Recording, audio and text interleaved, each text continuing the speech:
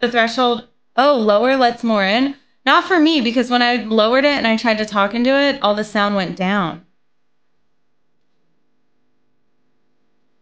No, that's my first ever made PC. Tis mine. That's the one I built. I am going to use it though. I plan on using it. Wish I knew where the fuck my half of my Lego is, because I would totally do some fucking Legos right now.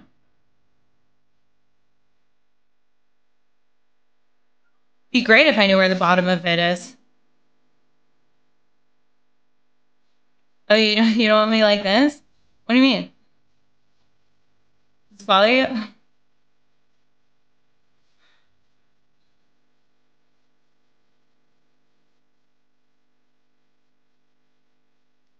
Good night, Space Duck.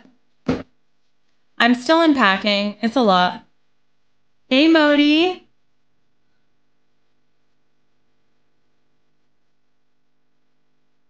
Thank you, Shy Vizard. Was my transition into nerd culture easy?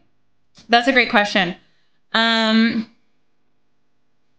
as much as I love your smile, you think you need the full view of my outfit? Oh, not in not in front of it. I was like, you're not a you're not one of those, Dilly. um, no, that's a great question. So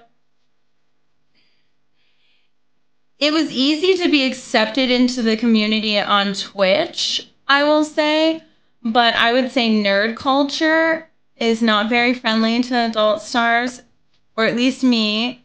And then it was very confusing how to do setups and figure everything out.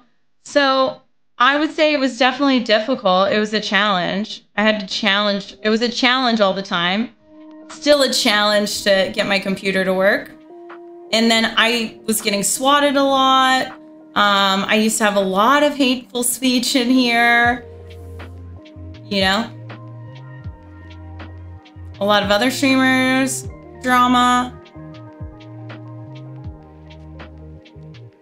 But I think anything anything you do and anything you want to be successful in, you have to you have to it's, a, it's always going to be a challenge. No, it's totally okay. I went through it as I should go through it. I should. I think America is plagued by incels right now. Thank you, Dragon Sky. Your current mental state is showing. Thank you. Oh my god, guys. I okay, so thank you so much, Young Polo, for the raid. I appreciate that. Um, I hate this in front of me, it's bothering me. Um, sorry, uh, only Lurkin. You can you can do the voice redeem again soon. I, I just didn't see it. Um, hold on, let me pull my everything a little closer. Second. There we go. Okay, so I was like, yesterday, let me tell you what happened to me yesterday, right?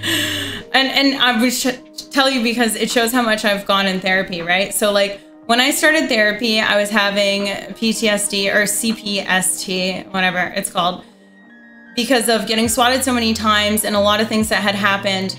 It was literally making me hear guys in my house and see men in my house. Like something crazy would happen and I would occasionally see or hear men in my house, right? Like legitimately.